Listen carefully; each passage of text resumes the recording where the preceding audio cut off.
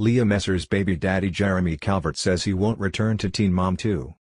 It looks like Teen Mom 2 will be down another dad next season. Leah Messer's baby daddy Jeremy Calvert revealed he doesn't plan to come back to the hit MTV show.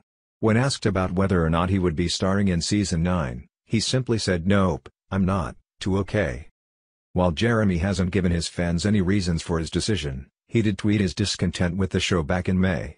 This ST isn't about the kids at all anymore how about let's focus on the reason the Seth King show started. So glad I missed the reunion once again. Jeremy should know, he's been involved with plenty of non-kid related drama, including beefing on Twitter with Jenelle Evans' husband David Eason. Jeremy also liked a telling tweet from a fan, which may hold more clues to his reason for leaving. Time for the show to end, wrote the fan. It was supposed to be about the struggles of teen moms, but now it's about women, who would otherwise be working at Walmart or McDonald's, feeling and acting like entitled celebrities. Wait till the MTV welfare checks are gone and see what happens.